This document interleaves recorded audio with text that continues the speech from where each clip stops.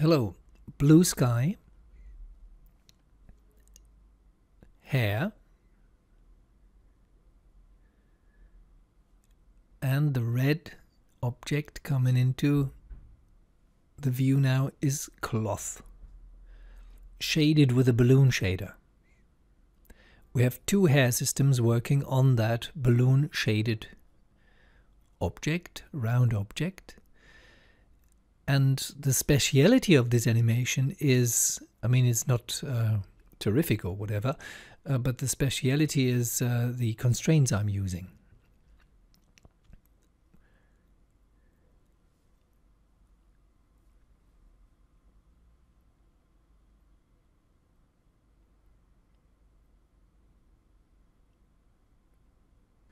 So here is the scene I want to show you. In the back, you see something which you didn't see in the animation. No. Yes, you did. Because we looked up into the sky. That's the sky. That's the angle of view for our simulation, for the animation I've just showed you. This is the camera here, which I rendered, which is basically slowly moving down. So uh, here we only have the dynamic simulation and the camera basically starts up here and then goes down and gets the whole uh, ribbon and the hair into view. So we don't see anything of this Italian scene, only the sky, which is just uh, nice for this, I think. Let's have a look at the outliner. We have green icons here. That's uh, icons for the constraints. And here we have three hidden cylinders. They're important for this whole animation, but we don't need to see them, finally. So let's first unhide them.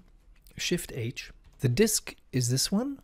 Uh, it, it was a disk, actually, of uh, like uh, this object here. And I just deleted the faces uh, inside to create that ribbon effect. And I turned this ribbon into cloth. And then I introduced the dynamic constraints, not for the hair, but for the ribbon. Um, so um, we have one, two, three, four dynamic constraints. And now have a look where they are. So this pole here, this cylinder, um, deals with this control vertex or uh, vertex point on that ribbon and with that one. So it spans uh, powerful connection to the to the both sides here. And of course, uh, this is it's behaves like a spring, so uh, it is elastic, but not too elastic. I could have created springs which do break once they are stretched too far, but in this case, I didn't allow them to break, so they hold the ribbon quite stably. Here's the other one, which is more direct and you can see I chose several CVs here, or vertices, uh, not the whole object. And uh, what I used for this constraint is I went to FX, and here you have the nConstraint. So we have nCloth in the scene, that's the cloth, the ribbon. We have nHair in the scene, that's the two hair systems here, and we have an nConstraint here. And I use the component to component constraint.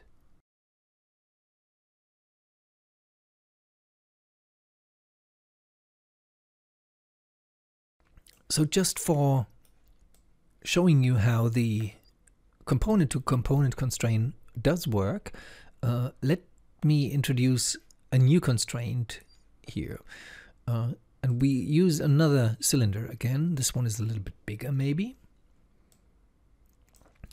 And now what you do is basically you go to the poly disk here and select the, with shift select, the cylinder and then you press the key F8 which switches on component mode.